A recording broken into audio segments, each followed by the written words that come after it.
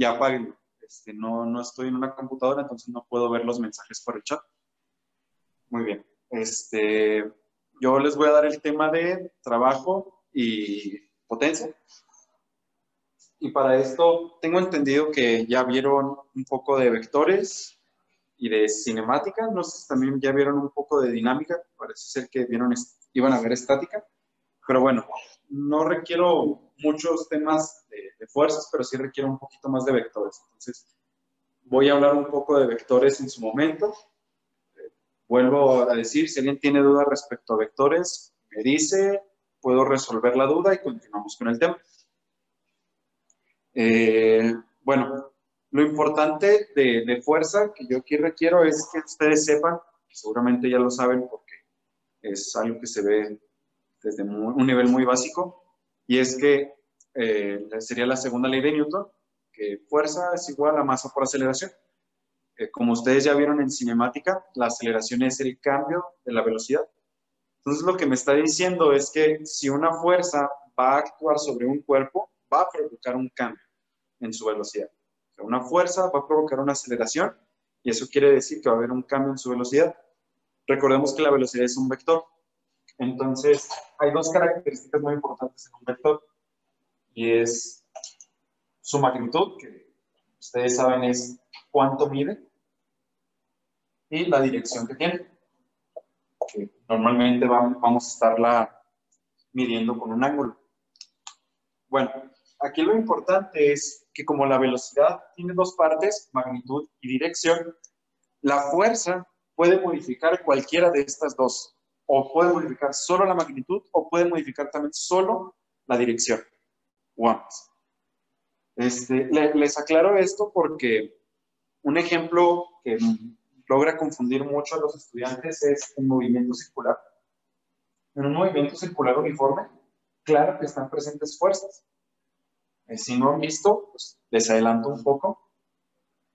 En cada punto hay una fuerza que se está ejerciendo y va en dirección hacia el centro del círculo.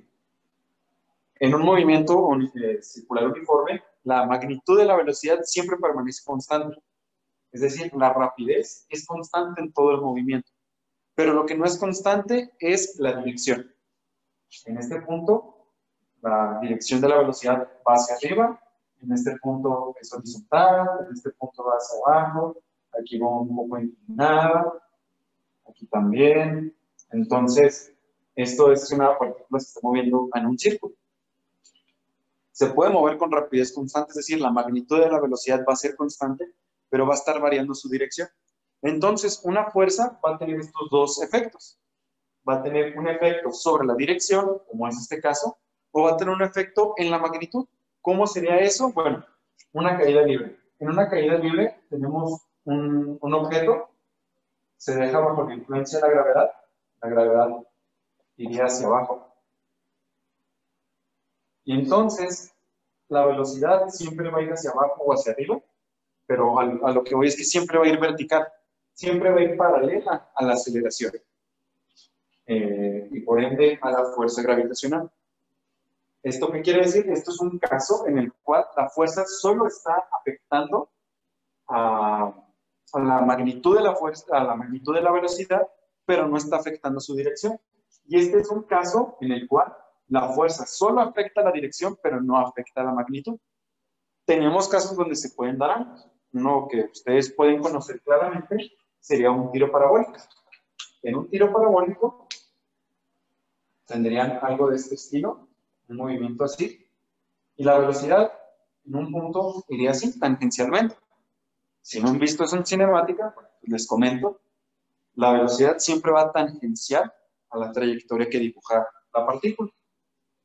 Y en este caso, la fuerza gravitacional, que es la que actúa sobre este objeto, iría hacia abajo. Aquí, la magnitud de la velocidad va variando. Ustedes saben que en la parte más alta la, la magnitud de la velocidad es más pequeña que en estos extremos. Y también va variando la dirección. Entonces tendríamos estas dos cosas. Aquí varía dirección y magnitud. Aquí varía solo magnitud y aquí varía solo dirección.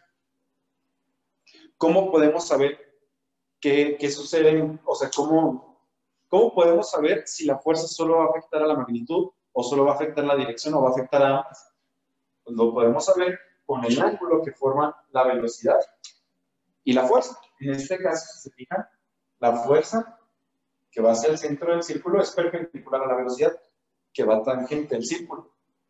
Aquí la fuerza va paralela a la velocidad. Y aquí que afecta a ambas no va ni paralela ni perpendicular. Si se fijan, hay una componente vertical y hay una componente horizontal. Como ven ustedes saben, la componente horizontal no se ve afectada, solo la componente vertical. ¿Esto qué quiere decir? Que la fuerza solo va a afectar en magnitud cuando es paralela. Sabemos que afecta a la componente vertical. ¿Por qué? Porque la fuerza es vertical. Aquí sabemos que afecta a la, a la magnitud, perdón. Aquí sabemos que afecta a la magnitud porque la fuerza es paralela a la velocidad. Aquí no afecta porque la fuerza es perpendicular, no es paralela. Entonces ya tenemos una forma de poder hablar que una fuerza afecta o no la magnitud de una velocidad. ¿Y por qué la magnitud y no la dirección o ambas cosas? Bueno, ustedes saben por, por leyes de Newton, la fuerza ya, si yo tengo una fuerza, sé cómo va a variar la velocidad en general, tanto magnitud como dirección. Pero al ser un vector, me tengo que fijar en estas dos cosas, magnitud y dirección. No más estamos en dos dimensiones, en tres me tendré que fijar en tres cosas. Tengo dos direcciones. Una en el eje, digamos, tengo una velocidad, tendría que escoger dos ejes y medir respecto a estos dos ejes los ángulos. Entonces, este, ah, sí, a lo que iba es, por leyes de Newton sabemos cómo afecta las fuerzas a las velocidades en general. Pero es más fácil solo trabajar con las magnitudes. ¿Por qué? Porque las magnitudes son escalares. Las magnitudes son simples números, no son vectores. No me tengo que preocupar este, por el signo, no me tengo que preocupar este, a dónde se mueve. No, simplemente es un número y es mucho más sencillo trabajar con eso que, como les decía, trabajar con vectores. Por eso es que yo me estoy centrando mucho ahorita en la magnitud de la velocidad y no tanto el vector completo.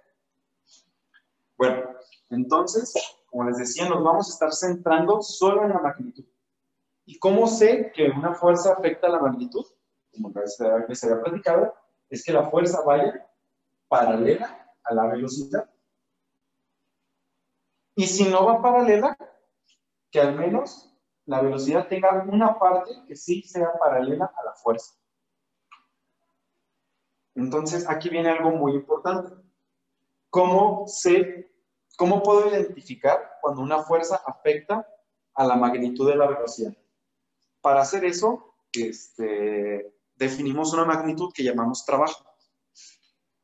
Supongamos que tengo una superficie horizontal y sobre esta superficie tengo un objeto. Sobre este objeto ejerzo una fuerza. Va a estar ligeramente inclinado, como esta de aquí. Entonces, ustedes saben que si solo se desplaza en el eje horizontal, la fuerza que va a afectar la magnitud de la velocidad es esta componente de la fuerza. Esta componente de aquí no, la va, no va a afectar la magnitud de la velocidad. Entonces solo me interesa esta componente de aquí. Si se fijan, aquí se forma un ángulo θ con la horizontal. Y esta es la fuerza F. Entonces, de aquí yo puedo ver que la componente de la fuerza que va a estar afectando la magnitud de la velocidad es aquella componente que vaya en la misma dirección que la velocidad. Si yo digo que este bloque se mueve hacia la derecha, horizontalmente, con una velocidad v, vectorcito, estoy dando su magnitud, su magnitud sería, no sé, 10 metros sobre segundo, 20 metros sobre segundo, y ya también estoy dando su dirección, que sería horizontal, entonces solo me tengo que fijar en la fuerza, que es horizontal. Entonces yo tengo que la fuerza, que es horizontal, sería F coseno de la Y sabemos que va en la dirección horizontal, pero esto sería su magnitud. Entonces yo sé que esta fuerza va a afectar a la magnitud de la velocidad. Pero ¿qué tanto le va a afectar? Bueno, este, como vamos a definir qué tanto le va a afectar, va a ser según el desplazamiento. Si yo sé que este cuerpo se desplaza hacia la derecha, recuerden que el desplazamiento es un vector. Si yo sé que se desplaza hacia la derecha, voy a tener que el vector desplazamiento, sabemos que es paralelo a la velocidad, porque la velocidad se define como el vector, que es igual al desplazamiento entre el tiempo. Y como el tiempo es un escalar, estos dos tienen que tener la misma dirección. Entonces yo me voy a fijar solo en el desplazamiento. Entonces va a ser la fuerza multiplicada por el desplazamiento. Aquí no le estoy poniendo flecha porque solo voy a estar hablando de la magnitud. Entonces, yo voy a decir que esta, esta cosita de aquí me va a estar hablando de cómo afecta esta fuerza a la magnitud de la velocidad. Y esta cosa de aquí le vamos a llamar trabajo.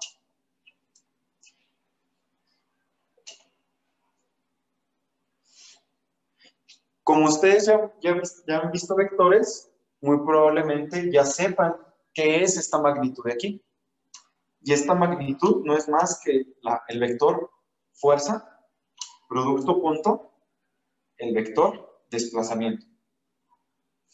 Aquí es importante aclarar que esto sería como un trabajo promedio, porque la definición formal de trabajo puede considerar que la fuerza va variando. Aquí se fijan, yo les pinté una fuerza y ustedes siempre suponen y siempre suponemos en los problemas que es constante, pero no necesariamente esa fuerza es constante. Y de hecho, es, el que no sea constante es un problema muy común, como trabajar con resortes.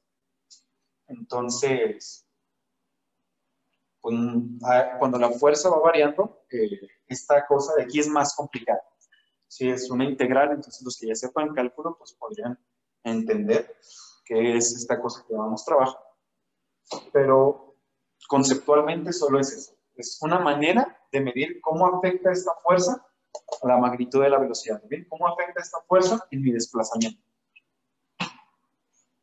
Y bueno, esto ustedes ya saben, esto es la magnitud de la fuerza, esta es la magnitud del desplazamiento, por el coseno del ángulo entre ellos. Si se desplaza hacia la derecha, pues es, el ángulo θ sería este de aquí.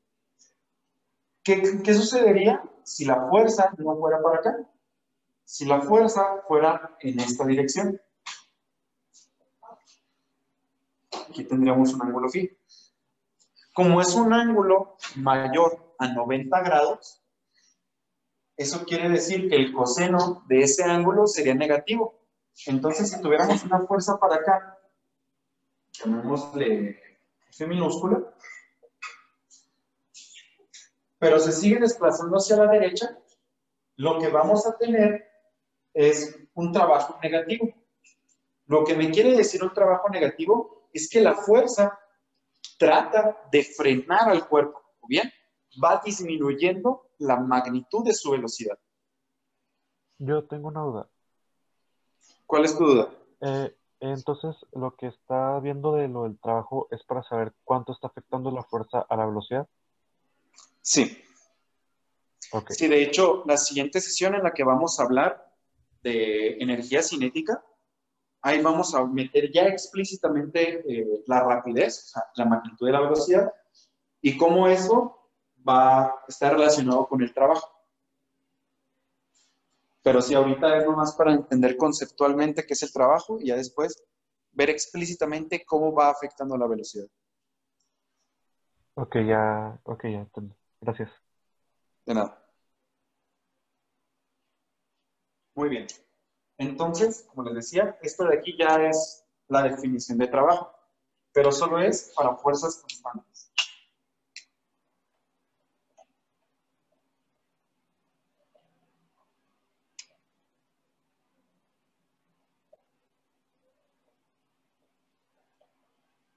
Y sí quiero este, recalcar mucho esto, que esto solo es válido para fuerzas constantes, porque cuando no es así, lo que tengo que hacer es, me tomo un desplazamiento muy pequeño, hago este producto punto, y después me voy a dar cuenta que la fuerza cambió.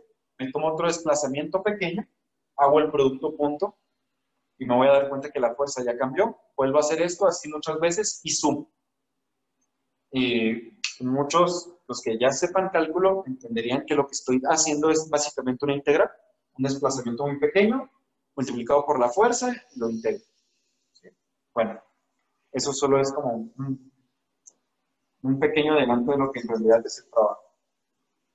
El trabajo, como es un escalar, es aditivo. ¿Qué quiere decir eso? Que ustedes lo pueden sumar sin ningún problema. ¿Y esto por qué? Eh, usando esta definición, vemos que el trabajo total sería igual a la fuerza total, producto punto, desplazamiento. Supongamos que la fuerza total está compuesta por dos fuerzas. Fuerza 1 y fuerza 2. En el caso en el que la fuerza total esté compuesta por dos fuerzas, lo voy a sustituir aquí. Y como ustedes ya sabrán del producto punto, si no lo saben, se los adelanto y les recomendaría que lo estudiaran porque el producto punto y algo que también se llama producto cruz son muy importantes en física. Bueno, algo que ustedes ya saben del producto punto es que se, la, se llama eh, tiene una propiedad distributiva, es decir, si tú, si tú haces el producto punto de una suma, sería la suma de los productos punto. Eso quiere decir que el trabajo total sería la fuerza 1 más la fuerza 2, producto punto del desplazamiento. Como les decía, como es el producto punto de una suma, es la suma de los productos punto. Entonces el trabajo total es F1, producto punto el desplazamiento, más F2, producto punto el desplazamiento. Entonces, esto es una propiedad del producto punto. Si ustedes le hubieran puesto aquí una tercera fuerza, aquí aparecería un tercer producto punto sumándose. Sí, es una multiplicación, actúa como si fuera una multiplicación normal de las que ustedes están acostumbrados. Entonces, si esto les asusta un poco, les recomiendo que se pongan a estudiar, porque pues es importante que sepan qué es esto del producto. Bueno, F1, producto punto de desplazamiento, no es más que el trabajo realizado por la fuerza 1. Y F2, producto punto de desplazamiento, es el trabajo realizado por la fuerza 2. Entonces, si ustedes tuvieran una tercera fuerza, aquí aparecería el trabajo de la fuerza 3. Si, ustedes tuvieran una cuarta fuerza, el trabajo de la fuerza 4. Entonces, eso es que el trabajo sea aditivo, es decir, ustedes pueden la fuerza total descomponerla en pequeñas fuerzas y luego eh, sacar, calcular el trabajo de cada fuerza y después sumar los trabajos pequeños. Este, un ejemplo de eso pudiera ser, eh, digamos, si ustedes tienen un bloque que se mueve en un plano inclinado, la fuerza normal iría hacia, hacia arriba perpendicular a la superficie y el peso iría verticalmente hacia abajo.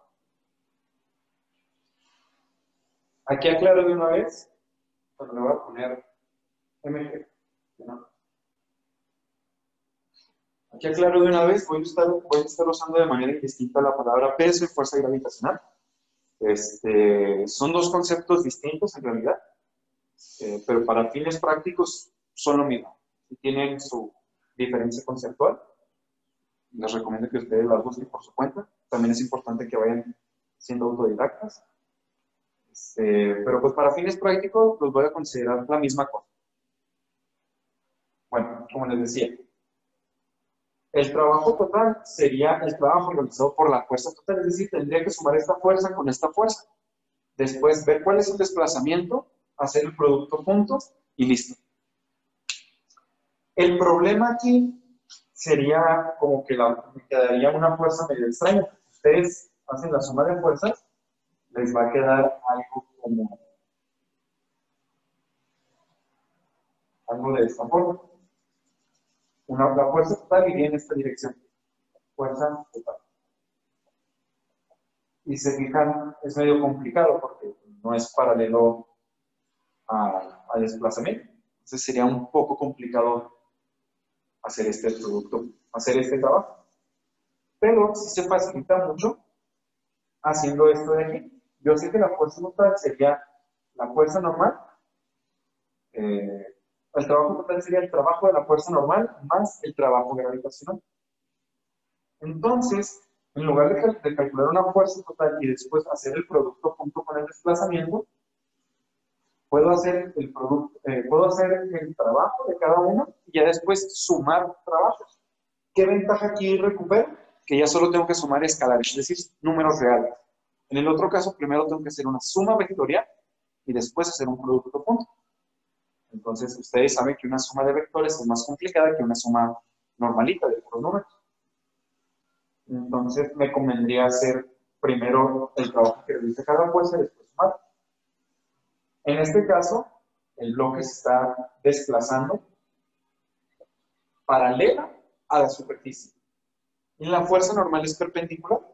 Eso quiere decir que el trabajo realizado por la fuerza normal, que puse un subíndice n, es n producto punto delta r, y esto es 0. ¿Por qué es 0? Porque el desplazamiento es perpendicular a la fuerza. Si es perpendicular, el ángulo es de 90 grados. ¿Y cuánto es el coseno de 90 grados? 0. Entonces, como el coseno de 90 grados ha sido el trabajo es 0, y por ello el trabajo que realiza la normal es 0. Aquí el trabajo que realiza la gravedad no va a ser 0. Como les digo, tengo que calcular una componente que sea paralela. Entonces aquí pongo un ángulo, ponemos de alfa, que ese resulta ser el mismo ángulo que, este, que el complemento de este ángulo T. Es decir, alfa es igual a 90 grados menos T. Esto es geometría. Si también se pierden un poquito con esta geometría, ahorita les explico, pero también sería bueno que practiquen geometría. Si se fijan, aquí se forma como un triángulo rectángulo. Este ángulo es de 90 grados, esta es paralela a este, entonces este ángulo también es alfa. Porque esta línea y esta línea son paralelas, y esta es una vertical, entonces el ángulo tiene que ser el mismo. Y aquí se forma el triángulo rectángulo. Y como la suma de los ángulos internos es 180, este es un ángulo de 90 grados. Este más este tiene que ser 90 grados. Y es precisamente lo que tengo. Si este pasa sumando, me queda alfa más teta igual a 90 grados. Bueno. Entonces, ya sé cuál es el ángulo entre el vector fuerza gravitacional y el vector desplazamiento. Es alfa, que es esto de aquí. Entonces, me quedaría que el trabajo realizado por la gravedad sería mg producto punto delta R. ¿Sí? E, mg ustedes saben que es la fuerza, la fuerza gravitacional. Aquí ya estoy tomando un vectorcito que apunta hacia abajo, que tiene magnitud 9.81. Bueno, y esto de aquí sería mg por el la magnitud del desplazamiento por el coseno Si la inclinación del plano fuera de 30 grados, el ángulo alfa sería de 60, entonces aquí vendría el coseno de 60. Entonces, si ustedes conocen la inclinación del plano, conocen la masa del desplazamiento, ya pueden calcular el trabajo realizado por la gravedad, que es este de aquí. Porque ustedes saben que es igual a 9.81 metros por segundo al cuadrado, o 9.8, como ustedes gusten. Este, es una magnitud positiva porque G es la magnitud de esta cosita de aquí, la magnitud. Y la magnitud de los vectores siempre son positivas. ¿Sí? Este vector de aquí, como ya vieron vectores, espero que no les asuste esta notación, este vector de aquí es menos G, G vale 9.81, por el vector J. Simplemente el vector J me está diciendo que es, mi vector apunta, que mi vector tiene una componente vertical, su componente es G, y como tiene un signo menos, va hacia abajo. Eso es lo que me quiere decir esta notación. Este, tengo entendido que vieron vectores, entonces seguramente vieron esta notación. Si no, en cualquier libro de física, al inicio tiene un apartado de vectores. Ahí les van a, les hablarían de esta notación, les hablarían de magnitud de vectores, les hablarían de producto.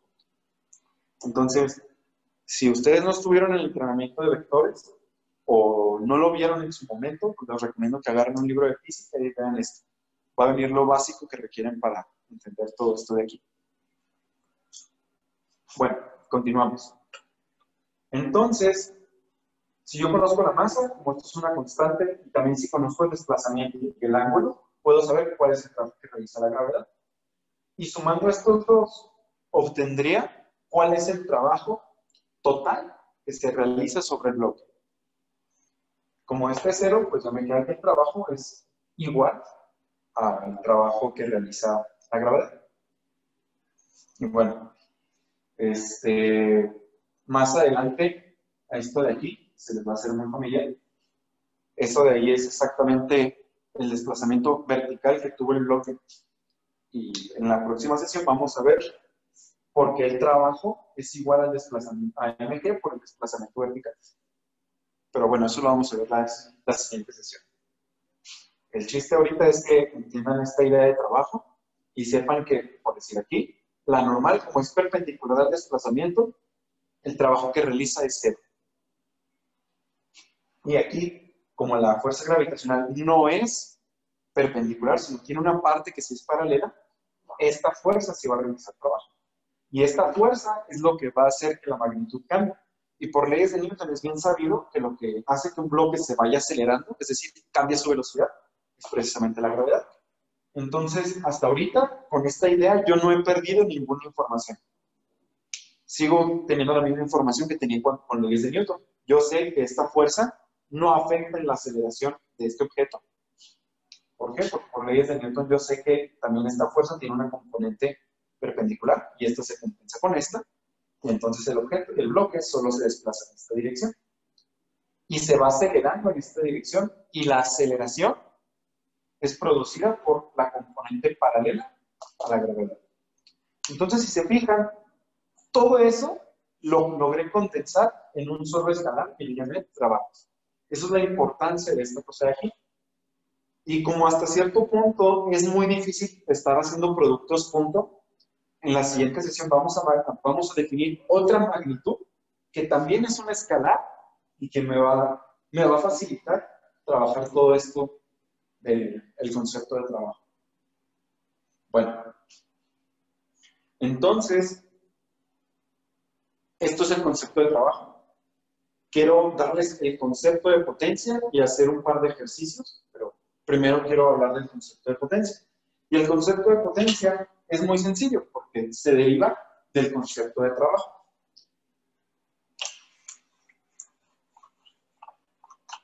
El concepto de potencia lo que me dice es cuánto trabajo tengo que realizar este, en, un cierto tiempo.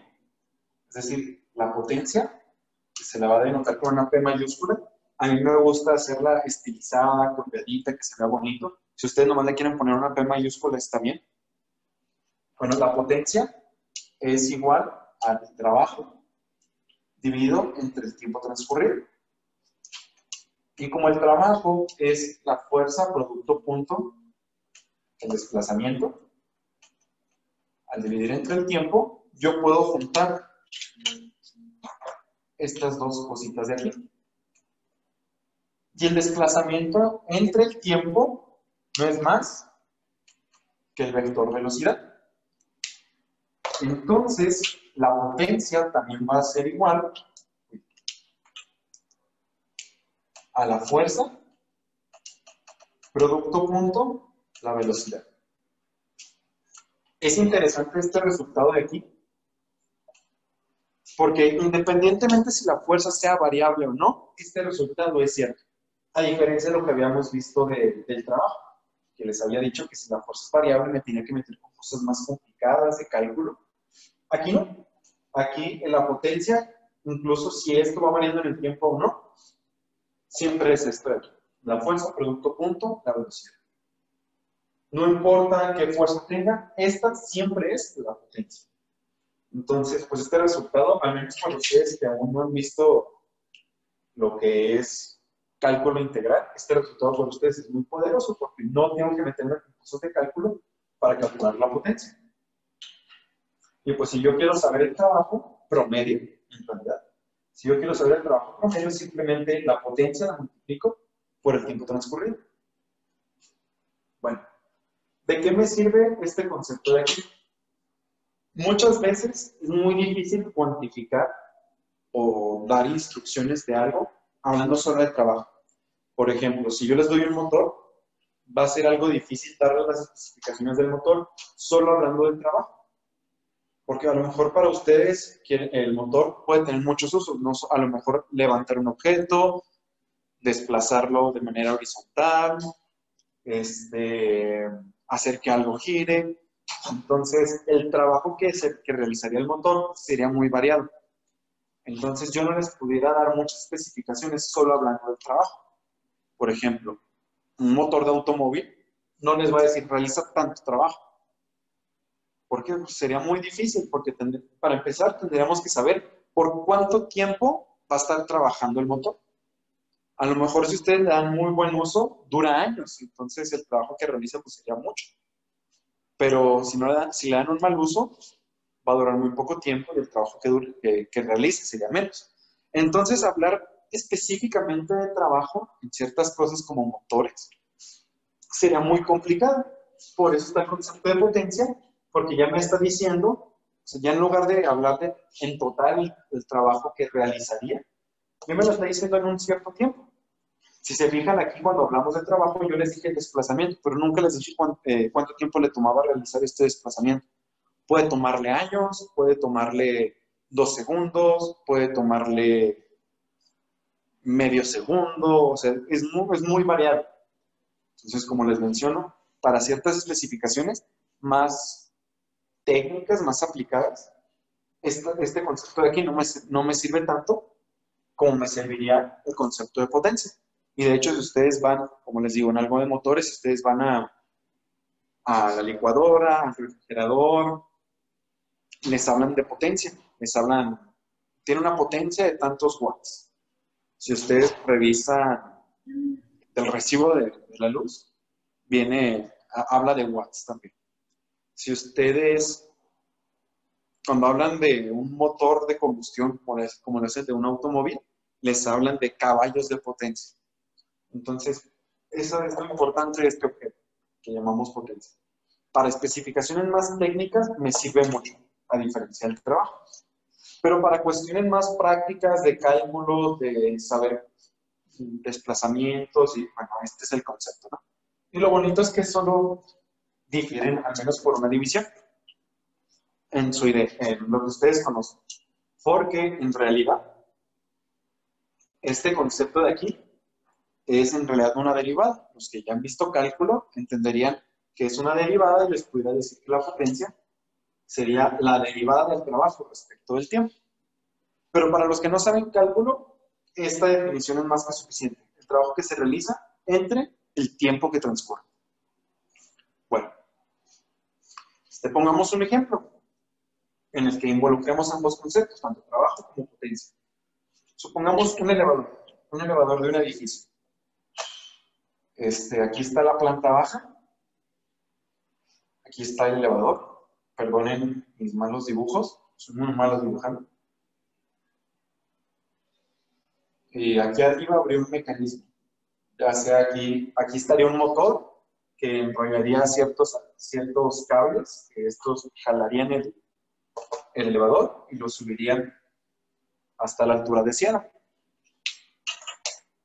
Supongamos que esta es la aquí está la planta baja y queremos subir hasta un cuarto piso, es decir, queremos poner el elevador en esta posición de aquí. Más o menos, un piso eh, de un edificio más o menos bien diseñado este, rondaría de los 3 metros. A lo mejor ligeramente más, 4 metros. Dejémoslo en 3 nomás para hacer este cálculo. Entonces, si este es un cuarto piso,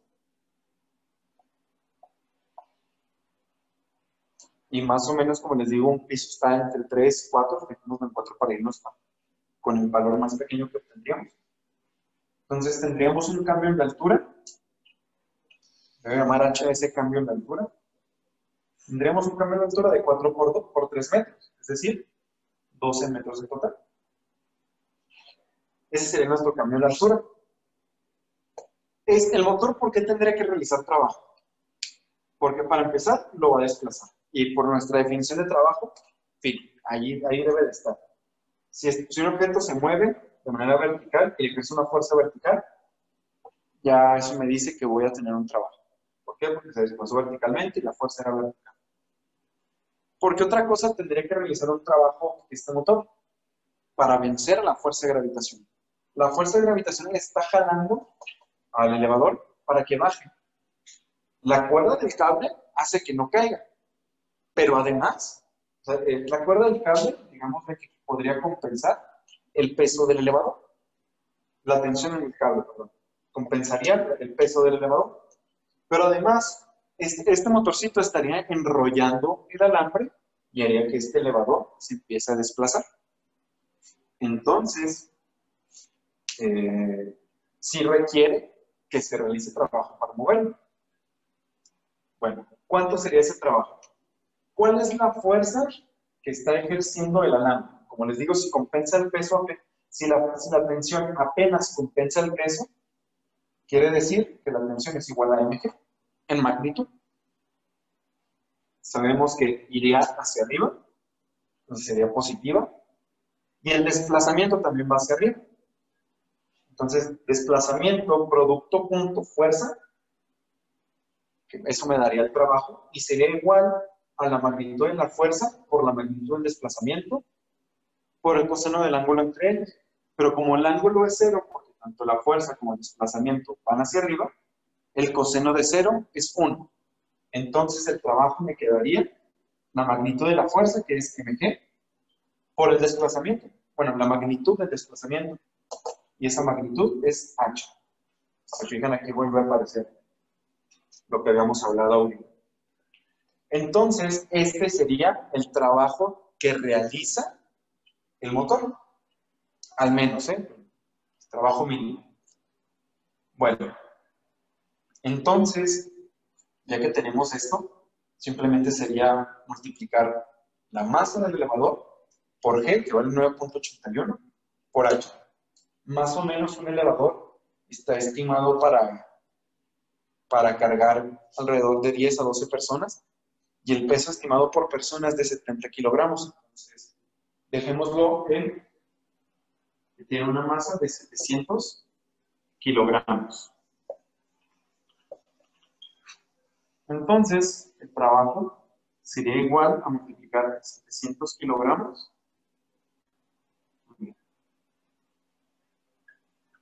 por 9.81 metros sobre segundo al cuadrado por 12 metros.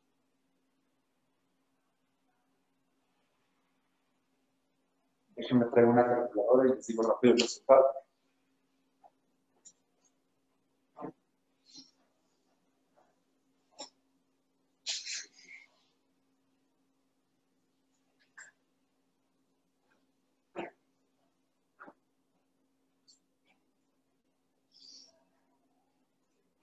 Y el resultado sería 8, 2.4. Bueno, voy a usar notación científica mejor.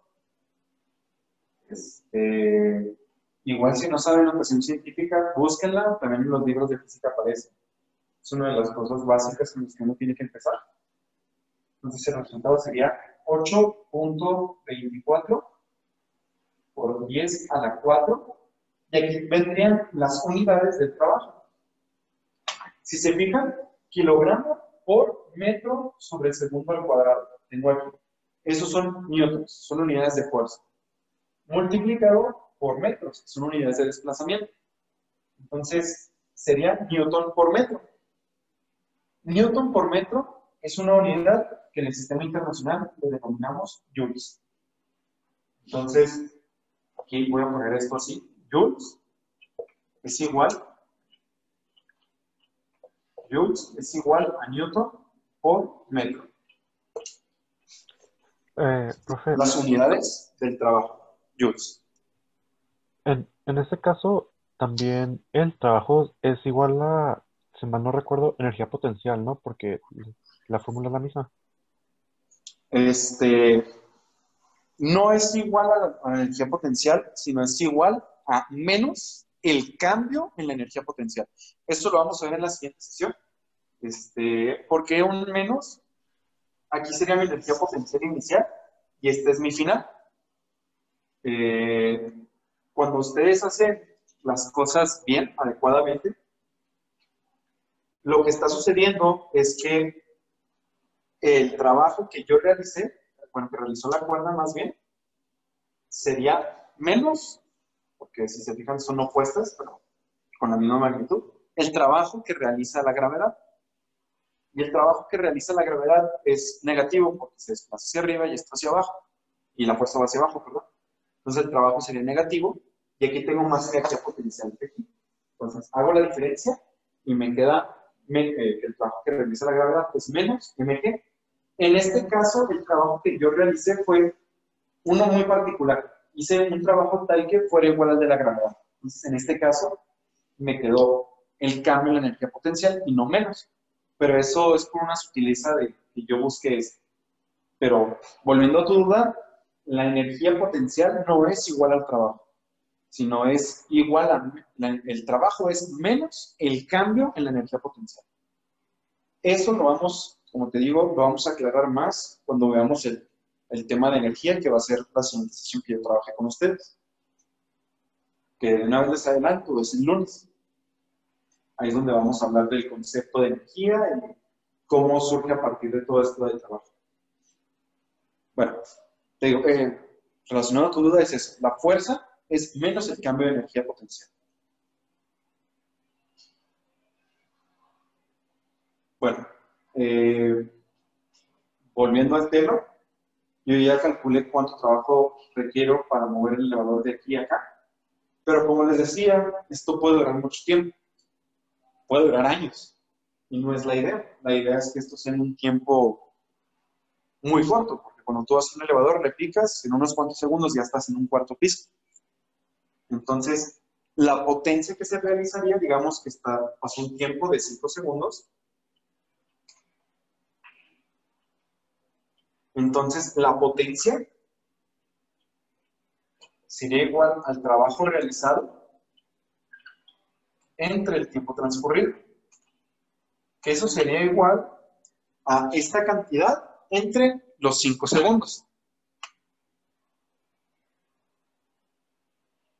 Entonces, eso me queda un resultado de 1.6, 1.6, ese dejémoslo, por 10 a la 4.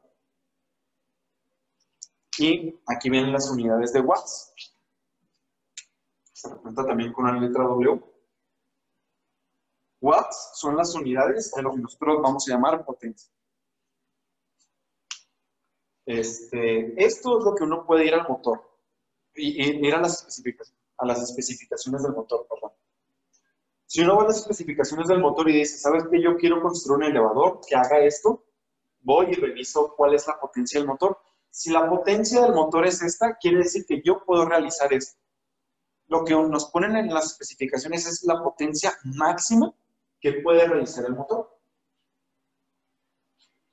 Y digamos, el motor dice 2 por 10 a la 4 watts, en realidad va a decir 20 kilowatts. Kilo, ustedes saben que es por 10 a la 3. Entonces, si dice 20 kilowatts, como esta potencia está debajo de eso, claro que yo puedo realizar esto, de aquí. E incluso lo pudiera realizar en menos tiempo. 5 segundos de por sí ya es mucho, un tiempo muy corto. Entonces, ¿por qué en un motor va a hablar de potencia y no de trabajo? Ah, ¿sabes qué puede realizar tanto trabajo en, una sola, en un solo movimiento? Porque eh, hablando de cuestiones eléctricas, es mucho más fácil también hablar de potencia que hablar de trabajo. A lo mejor en cuestiones mecánicas es más fácil el trabajo que la potencia, pero en cuestiones eléctricas, que es con lo que se mueven eh, los motores de los elevadores, es mucho más fácil hablar de potencia que de trabajo. Porque cuando vean electromagnetismo lo van a ver. pero es más fácil hablar de corrientes que de cargas. Y la corriente es carga entre tiempo. Y pues aquí es más, el, el trabajo va relacionado con una cosa que se llama potencial eléctrico multiplicado por la carga. eso sería el trabajo. Pero, como les digo, es más fácil trabajar con corrientes.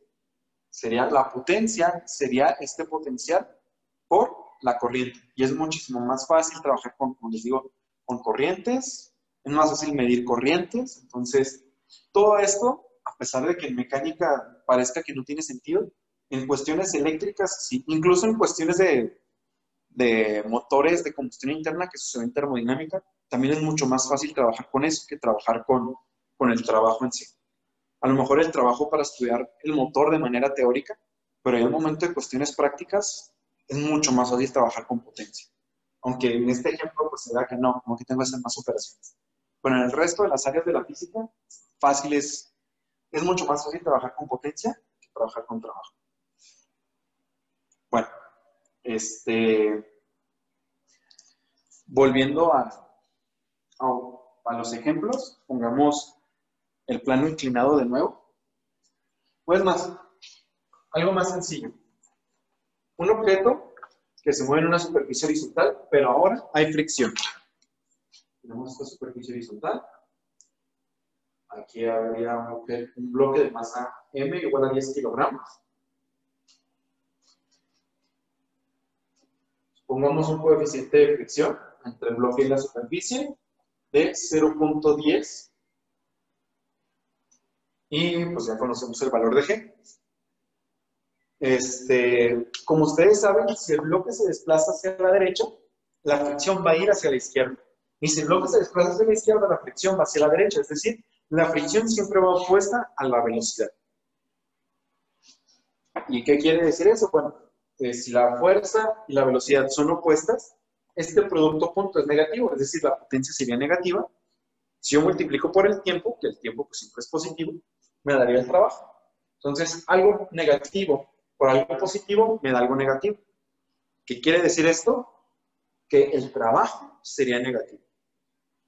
Entonces, ahorita yo les recomiendo que también piensen en cuestiones de potencia y no solo de trabajo digan, ah, mira, si yo quiero saber el trabajo, qué fuerza realizar un trabajo, es más fácil pensar en sacar el vector fuerza, ver el vector velocidad, es el producto punto, y digo, ah, no, la velocidad y la fuerza perpendiculares, entonces la potencia es cero y también el trabajo. Eh, no, pues que son paralelos, ok, ya me voy a realizar el trabajo. hacer el cálculo del trabajo, ¿no? Fuerza, producto punto, desplazamiento. Bueno, entonces, no solo piensen en esta fórmula de aquí, también piensen en esta. Son cosas que yo les recomendaría, que se vayan acostumbrando a hacer ambas cosas. A ver fuerzas y desplazamientos, pero también a ver fuerzas y velocidades. Bueno, pues vamos a esto. Supongamos que el bloque se mueve hacia la derecha, hacia acá, con una magnitud de velocidad de 10 metros sobre segundo. Y yo quiero saber cuánto trabajo realiza la fricción y cuánta potencia. Yo quiero saber ambas. ¿Por qué me interesaría eso? Yo puedo decir que cuando veamos energía, me estoy adelantando un poco, pero cuando veamos energía, vamos a ver que por el hecho de moverse ya tiene una energía. Y cómo se va a ir disminuyendo su energía por la fricción, esa energía se tuvo que haber ido a algún lado. Y eso se puede ir de forma térmica para que aumente la temperatura tanto de la superficie como del bloque. Entonces, por eso me serviría de calcular el trabajo que hace la fricción y la potencia. Porque si yo sé también cuánto tiempo, en cuánto tiempo se dio esto, yo pudiera hablar de cuánto líquido puede dejar en el tiempo. Y si yo me quiero poner algo muy complicado, supongamos que esto es lleno, esto se desliza, calculo la potencia, entonces puedo saber cuánta energía va a ir absorbiendo el hielo. Y ustedes saben que si el hielo absorbe energía, se empieza a derretir. Entonces empieza a soltar masa. Entonces yo pudiera decir cuánta masa va soltando en el trayecto. Y como la masa va cambiando, la aceleración también va a cambiar. Entonces, por eso este problema se puede volver muy complicado e interesante sabiendo la potencia. Bueno, ya habiendo dado una motivación para calcular la potencia, hagámoslo. Este, si se fijan, como ya les había dicho, la fricción va a ir hacia la izquierda y esto se mueve hacia la derecha. Entonces, el producto punto es igual a las magnitudes, es decir, la potencia de la fricción, que es igual a la fuerza de fricción producto punto velocidad, ya sabemos que es igual a menos la magnitud de la fricción. Si se fijan, no le puse flechita, eso quiere decir magnitud, por la magnitud de la, velocidad, es decir, la rapidez. Igual no tiene flechita, entonces solo es magnitud. Este, ¿Les recuerdo? La rapidez es la magnitud de la velocidad. Bueno, entonces, la velocidad va cambiando en el tiempo. Eso quiere decir que la potencia va cambiando en el tiempo. Entonces, esto se puede tomar un poco complicado. Pero bueno, solo tengo que saber cómo es la fuerza, digo la velocidad. Porque la fuerza ya la conozco. La fuerza de fricción en magnitud es igual a la fuerza normal por el coeficiente de fricción. Si no lo habían visto, pues se nos adelanta. Eso es la fuerza de fricción. Nomás tendría que calcular la fuerza normal. Eso se hace con suma de fuerzas, etcétera. No es el tema que les voy a explicar, así que les voy a decir una vez cuánto es. En este caso particular, la fuerza normal en magnitud es igual a mg. En este caso particular, no siempre se da eso. Ah, hay que hacer la, suma de fuerzas, la fuerza normal siempre es perpendicular a la superficie. Entonces yo hago la suma de fuerzas, esto y que el otro, y me queda una expresión de la normal. Y en este caso particular me queda igual a mg. Hay veces que me puede quedar a mg por una cosa, o mg menos ciertas fuerzas, entonces no siempre la normal es igual a mg. En fin, esto de aquí sería la, la magnitud de la fricción. Y ustedes saben cómo se opone, y esta es la única fuerza, va a tener esto que es una aceleración negativa. ¿Qué quiere decir una aceleración negativa? Quiere decir que la aceleración y la velocidad van en sentidos opuestos. Entonces, si esto va a la derecha, como la aceleración negativa va hacia la izquierda, y al, ir, y al ir hacia la izquierda, es decir, al ir en sentidos opuestos, lo que va a suceder es que la, la velocidad va disminuyendo hasta ser cero y si se mantiene esta aceleración, se debería devolver. En el caso de la fricción no es así. Justo cuando se detiene, la fricción se apaga y ya. Ya se detuvo y se quedó en reposo. En el caso de la gravedad no es así. Si ustedes avientan esto, si se fijan la velocidad y la fuerza gravitacional van hacia abajo, son opuestas, el producto punto sería negativo. Lo que va a suceder, como la aceleración y, la velocidad son opuestas, la velocidad va a ir disminuyendo y después de, que se haga cero, como sigue la gravedad, esto va a, va a empezar a bajar y va a ir aumentando su velocidad. Entonces, este, y ya cuando la velocidad y la aceleración vayan en la misma dirección, el producto punto sería positivo, es decir, la potencia sería positiva. Por cinemática, ustedes saben que la velocidad es igual, en la, velocidad en algún momento es igual a la aceleración, en este caso la aceleración es menos g por el coeficiente de fricción. La aceleración es fuerza entre masa. Es negativa porque va hacia la izquierda. Aquí está el menos eh, de esa aceleración negativa. Pues como divides entre masa, esto desaparece. Sería aceleración por tiempo más la velocidad inicial, es positiva porque va hacia la derecha. Entonces, yo busco el momento en el que el bloque se detenga y quiero calcular ese trabajo. Este, para empezar, yo busco cuando la velocidad se acerca. Esto quiere decir que menos g, o sea, yo busco que la velocidad final se acerque, que menos g por t esto es como una flechita de esto nos lleva a esto. Menos g por t más b0 es igual a 0. Esto está restando, pasa sumando y de ahí puedo despejar el, tiempo. Bueno, esto lo que me dice es que g por mu por t es igual a la velocidad inicial. Les digo, esto está restando, pasa sumando, 0 más algo es ese área Y esta aceleración pasaría dividir, entonces el tiempo que tardaría en detenerse sería la velocidad inicial dividido g por Ese sería el tiempo.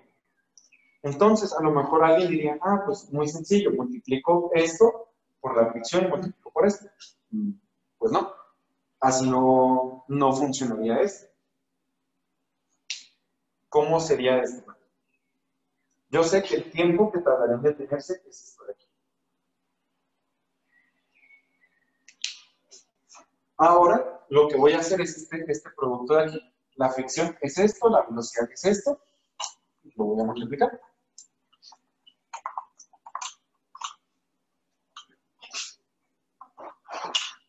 Y vamos a llegar a un resultado algo interesante. Bueno, tenemos que la potencia de la fricción sería menos mg por mu por menos g mu el tiempo más la velocidad inicial. Multiplico esto de aquí y esto me va a quedar m g cuadrada mu cuadrado por tiempo más, bueno, menos, perdón, mg mu velocidad inicial. Al tiempo cero, es, o sea, es cero por algo, es cero, todo esto es cero, y me queda exactamente eso, fricción por velocidad inicial. Pero lo que me dice esto es que la fricción, que la potencia va cambiando en el tiempo. Y si yo quisiera saber la potencia justo cuando termina, tendría que sustituir esta de aquí. Entonces me quedaría que la potencia de la fricción a, este tiempo es mg cuadrada mu cuadrada por velocidad entre g por mu menos mg mu bc el cual el g bueno más bien esta g se va con el cuadrado esta mu se va con este cuadrado me queda mg mu B0 menos mg mu B0. Y esto es 0, porque es lo mismo menos lo mismo. Entonces, lo que me está diciendo esto es que la potencia, cuando se detiene el bloque, es 0. Y antes de detenerse es menos mg mu B0. ¿Esto qué tiene por problema? La, la potencia va cambiando en el tiempo, entonces, como que para calcular el trabajo, como que les decía que tenía que trabajar con valores promedio. Entonces veamos qué pasa si hago con valores promedio. La potencia promedio, promedio, sería igual a la potencia final, que es cero, más la potencia inicial, que es al tiempo cero. Esto por cero este, todo esto se va a hacer, nomás me queda menos mg mu por velocidad inicial. Sería menos mg mu por velocidad inicial. Dividido entre 2. Bueno, esto sería menos un medio de mg mu b0. Eso sería la potencia promedio. Y como que Suena tentativo a, decir que el trabajo sería igual a esta potencia promedio. Uy, a esta potencia promedio por el tiempo transcurrido. Como que suena muy tentativo. Y veamos cómo nos quedaría. Nos quedaría menos un medio de mg mu velocidad inicial. Esa es la potencia promedio. Y la, el tiempo sería B0 sobre G por mu. Bueno, aquí se eliminaría G y mu. Lo voy a, voy a borrar de este lado y voy a dejar aquí los datos. Voy a borrar nomás estas ecuacioncitas aquí. Entonces, tendría que, el, a mi parecer, el trabajo sería esta multiplicación de aquí, entonces sería menos un medio, G se va con G, mu se va con mu, y me va a quedar masa por velocidad por velocidad, velocidad al cuadrado. Los que ya han visto energías, esto ya les suena algo parecido. Esto de aquí es lo que posteriormente vamos a llamar energía cinética. Entonces, lo que me está diciendo esto es que el trabajo es menos un medio de la masa por la rapidez al cuadrado. Eso me dice que es el trabajo. Bueno, si ustedes se a hacer cinemática, utilizando ecuaciones de cinemática, tenemos que dos veces la aceleración, que es menos g por mu, por el desplazamiento, es igual a la velocidad final al cuadrado no la velocidad inicial del cuadrado. Yo busco que esta sea cero. Entonces me va a quedar, saco este menos, me queda menos 2g por mu por delta x es igual a menos la velocidad inicial al cuadrado. Este negativo se va con este negativo. Y me va a quedar que el negativo se va. Y estas dos cosas que están multiplicando pasan dividiendo me queda que el desplazamiento es, bueno, lo voy a hacer paso a paso un poco. Velocidad inicial al cuadrado por un menos, menos 2g por 9. Esto es cinemático. Esto de aquí ya es cinemático. Yo lo que voy a buscar es, usando cinemática, usando directamente la definición de trabajo, ver que efectivamente es esto de aquí. Menos se va a poner menos, ya me queda esto era así, se elimina, ya me queda B0 entre 2G por 1. Ok. Eso es el trabajo, digo, el desplazamiento. Y el trabajo, habíamos visto que era menos la fricción por la magnitud del desplazamiento. Menos porque son opuestas. ¿sí? O sea, tengo la fuerza de fricción, tengo el vector de desplazamiento, hago el producto punto, me queda un negativo que multiplica a sus magnitudes pues yo sé que la magnitud de la fricción es mg por mu. Y el desplazamiento es este de aquí, b0 al cuadrado, entre 2g por mu. Muy g se muere con muy g aquí. Y esto me va a quedar. Esto de aquí me quedaría que el trabajo es igual a menos la masa por la, velocidad al cuadrado dividido entre 2. Si se fijan, es exactamente esto de aquí, menos un medio de m por b0 al cuadrado, y es menos m de cuadrada entre 2. Son lo mismo. Entonces, efectivamente, esto que dice aquí está bien. Calculé una potencia promedio, con eso multipliqué por el tiempo y listo. Claro, los que sean más detallados con la matemática se van a dar cuenta que aquí hice algo de trampa, pero para fines prácticos está bien. Entonces, esta es la potencia. Les recuerdo, este término de aquí lo vamos a retomar más en la siguiente sesión. Esto de aquí es la energía cinética. Y bueno, lo que estoy calculando aquí es que el trabajo que está realizando la fuerza de fricción es este de aquí. Que si ya hago los cálculos, sustituyo aquí 10 metros, digo 10 kilogramos, aquí 10 metros sobre segundo y le voy al cuadrado y divido, entre 2 y ya voy a hacer la cuantita. Es menos 500 joules. ¿Por qué joules? Porque recuerden que son las unidades de trabajo. La... Y luego... Sí, perdón. ¿No? ¿Ninguna duda? Bueno, ok. Y luego, si yo quisiera calcular la potencia inicial, pues sería mg, digo, 10 kilogramos por 9.81 por esto de aquí, por b0. Sería la potencia inicial del cuerpo. Y bueno, esto, para no importantes cuantitas, es importante que se vayan acostumbrando a hacer muchas cuentas, mucha álgebra. Sustituir en la calculadora también es importante porque eso puede llevarlos a errores.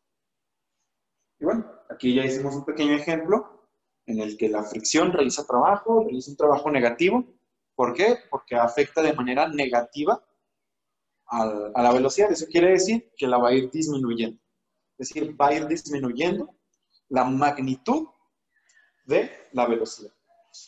Y eso precisamente pasa en el ejemplo que les decía. Si esto se mueve hacia arriba, lo que va a suceder es que como el producto punto es cero, digo, es negativo, este producto punto de la potencia,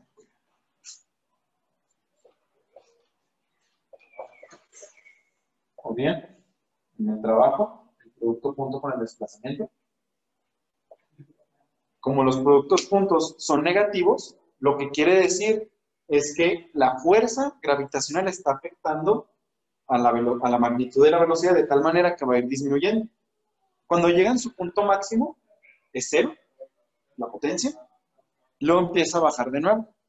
Cuando baja, la fuerza y la, y la velocidad son paralelas y el producto punto es positivo. Entonces lo que va a ir sucediendo es que la fuerza va a ir, ahora la fuerza va a ir aumentando la magnitud de la velocidad. Y si se fijan, todo esto ha sido consistente con lo que ya hemos mencionado. Busco una magnitud que me hable de qué tanto afecta una fuerza la magnitud de la velocidad. Bueno, este, estas son las ideas de trabajo y de potencia. Esto, ambas magnitudes me hablan de lo mismo. ¿Cómo varía, cómo afecta una fuerza a la magnitud de la velocidad? Pero esta, les digo, para cuestiones técnicas, esto es más importante, y para cuestiones de electromagnetismo, y para cuestiones mecánicas, esta es más importante y también para ambas son importantes para cuestiones de termodinámica. Esto sobre todo para hablar de cosas que hacen los motores de combustión interna y esto literal para hablar de teóricamente cómo funciona un ciclo de un motor. Entonces, ambas magnitudes son importantes, les digo, me describen la misma cosa. Esto y esto solo difieren por el tiempo. Entonces, si yo multiplico por el tiempo, esta cosa de aquí me va a dar esta cosa de aquí. Como les decía, los que ya están más experimentados en cálculo, la, la, la verdadera este, relación es que la integral de esto respecto al tiempo, o sea, que mi variable sea el tiempo, cuando integro esto respecto al tiempo me da el trabajo. Y la derivada de esto me da la Pero les digo, esas ya son cuestiones un poquito más complicadas. Hasta ahorita estas definiciones son las importantes, son las buenas, son las que les van a servir. Y bueno, este, creo yo que hasta aquí sería, por mi parte, las, los conceptos, que es lo más importante. Yo lo que los invito es que resuelvan problemas. Esto, a lo mejor aquí yo los resolví unos cuantos, ¿no? Bueno, nomás dos. Pero esto no tiene sentido si ustedes no practican. Entonces, ya que entienden los conceptos, ya que entienden para qué sirve el trabajo, para qué sirve la potencia, agarrar un libro de física, irse a los ejercicios y empezar a resolverlo, les va a ir ayudando. Muchos libros de física ya tienen una parte de ejercicios resueltos. Están eh, a la mitad del texto, explican un tema, hacen un ejercicio. Siguen explicando, hacen otro ejercicio. Explican, hacen otro ejercicio y así. Esos les pueden ir, los pueden leer, ver cómo resuelven los problemas, que entiendan la solución. Y después de eso se pueden ir al final de ese capítulo y va a haber una parte de problemas. Esos no están resueltos, esos ustedes pueden poner a hacerlos y, e ir practicando que es lo importante, que ustedes vayan practicando. Entonces, los conceptos y esta idea de trabajar es lo que, lo que les quería transmitir, lo que, les quería enseñar. Eh, es importante estos conceptos para poder hablar más adelante de lo que es energía, que es en sí el concepto más importante eh, que trabajamos en mecánica. Bueno, la energía y las fuerzas. Pero hay muchas cosas en mecánica que se pueden reducir a energía y pues eso es lo maravilloso, ¿no? No tener que trabajar con vectores, sino trabajar con numeritos, con escaladas. Este, más ya para despedirme les voy a dejar un problema que es como una paradoja, que al menos con esto, con, las, con estas ideas, ustedes ya me pudieran contestar esta paradoja. Entonces se los voy a dejar para que la piensen y el lunes que nos volvamos a ver, espero que ya la hayan podido resolver. Eh, bueno, voy a dibujarla, voy a hacer un dibujo aquí, donde les voy a explicar la paradoja. Y a ver si ustedes me la pueden responder. No tienen que hacer cuentas, no tienen que hacer cálculos, simplemente razonar los conceptos que ahorita vemos. Bueno, la paradoja va más o menos así. Tenemos una superficie inclinada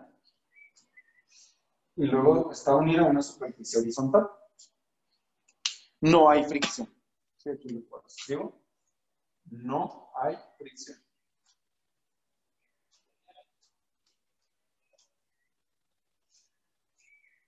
Y esto es lo importante.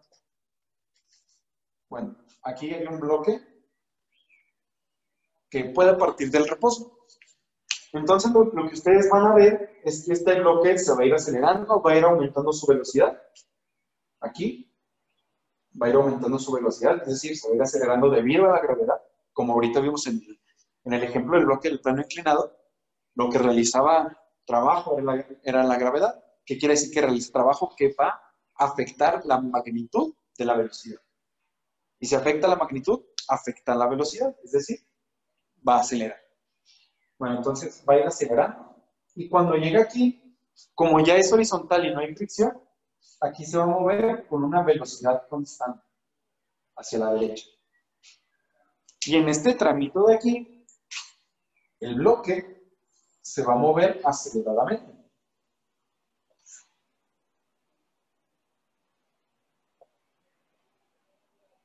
¿Sí? O sea, esto ya es algo normal, ustedes ponen un bloque, se va a empezar a acelerar, llega aquí y se va a mantener con la misma velocidad con la que llegó aquí a la parte más, más baja. ¿Ok? Hasta aquí nada raro. Pero si ustedes ya han visto leyes de Newton, o han visto esto que se llama velocidades relativas, que es algo que también creo yo que debieron haber visto en cinemática, ustedes pueden observar esto desde otro sistema de referencia. Un sistema de referencia es donde deciden observar todo. Ustedes están observando todo desde un sistema de referencia en el cual todo este plano, todo el, piso, está en reposo y el bloque se mueve. Entonces, digamos que ustedes deciden observar todo a partir de un sistema de referencia que se mueve. ¿Con qué velocidad? Con esta velocidad. Voy a poner velocidad final se mueve con una velocidad final hacia la derecha. ¿Qué quiere decir esto? Que ustedes van a ver que aquí se va acelerando el bloque, se va moviendo, y justo cuando llega aquí, como el, el nuevo sistema de referencia se mueve con la misma velocidad que el bloque, este sistema de referencia va a ver que el bloque está quieto. Un ejemplo de esto pudiera ser que ustedes ven, están así parados como yo, están viendo todo, y un amigo suyo decide ir caminando en la misma velocidad que el bloque cuando ya está aquí. ¿Qué es lo que va a ver su amigo? Efectivamente, que el bloque se acelera, pero al llegar aquí lo va a ver en reposo, va a ver que el bloque no se mueve. Sí, esto es muy parecido a que ustedes se monten en un carro y el carro se está moviendo. Ustedes ven que los árboles se mueven hacia atrás, o que otros autos parece que están sin moverse respecto a ustedes, o que a pesar de que ustedes ven que las llantas se mueven, pues el auto se está moviendo hacia atrás, ¿no? Eso es por esto que se llaman velocidades relativas. Entonces, es decir, en velocidades relativas, aquí yo mido velocidades. Cuando me subo a este nuevo sistema de referencia, pues un automóvil, una patineta, una bicicleta, alguien caminando, las velocidades que él ve son las mismas que yo, menos su velocidad. Entonces, si esta cosa se movía a esta velocidad, menos esta velocidad, pues cero. Es decir, cuando este observador lo que ve es que el bloque, al llegar a la parte de abajo, se queda quieto, ya no se mueve, pero antes estaba moviendo. Es decir, aquí tenía aceleración y aquí no. ¿Cuál es la paradoja aquí? No hay fricción. La única fuerza que actúa es la gravedad y la normal. La gravedad es lo que lo acelera, pero tuvo que haber otra fuerza que tuviera el movimiento tuvo que haber otra fuerza que realizara trabajo. ¿Sí? ¿Por qué? Porque cambió su magnitud de velocidad. Entonces tuvo que haber otra fuerza que realizara trabajo. Y pues ustedes saben que ahorita lo calculamos que la normal no realiza trabajo, porque la normal siempre es perpendicular a la superficie. Entonces, si, la normal va para acá y esto se desplaza para acá, La, la velocidad y la normal son perpendiculares, son cero. Entonces, si la potencia es cero, pues el trabajo también tiene que ser cero. Y aquí también sucede. Si esto se moviera a velocidad constante aquí, como la normal, la velocidad son perpendiculares, la potencia es cero, y entonces el trabajo es cero. Entonces, ¿qué sucedió? Si la normal no realiza trabajo, ¿por qué el bloque se detuvo? Si el bloque se estaba acelerando por la gravedad, tuvo que haber otra fuerza que realizara trabajo para frenar esto. ¿De dónde salió esa fuerza? ¿Cuál es esa fuerza? ¿Qué no estoy contemplando? ¿Qué estoy ignorando? Bueno, esa es la paradoja. ¿Alguna duda sobre este problema que les dejo de tarea?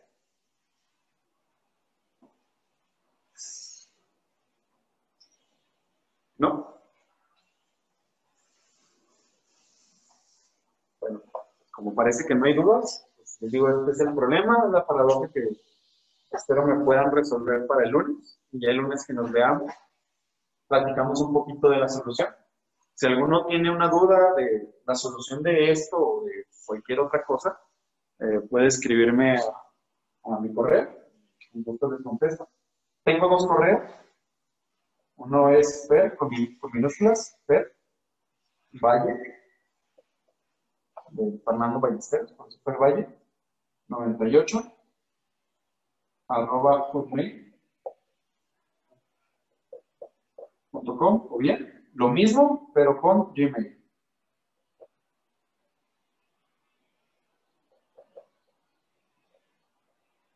Entonces, este, escríbanme cualquiera de los dos correos, con gusto les conteste, ya sea para aclarar más dudas sobre esta supuesta paradoja que quiero que no nos me conteste, o bien libros, dudas, ayuda con algún problema, con gusto les ayudo en cualquier cosa. Entonces, eso sería todo por mi parte. Eh, no sé si la doctora sigue conectada. Si no, pues, pues creo que hasta ahorita terminaríamos nuestra sesión. Espero que haya quedado todo claro. Los repito, si tienen alguna duda de este tema o de cualquier otro tema, si quieren más problemas, libros, lo que sea, no importa, escríbanme, les ayudo. Entonces, eso sería todo por mi parte. Y pues, muchas gracias a todos. Bueno, antes de dar la videollamada, voy a borrar por si alguien tiene una duda.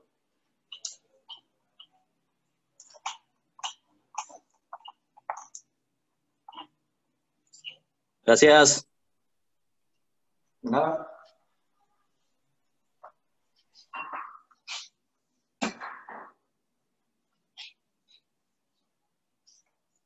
Bueno, parece que nadie tiene dudas, entonces nos vemos.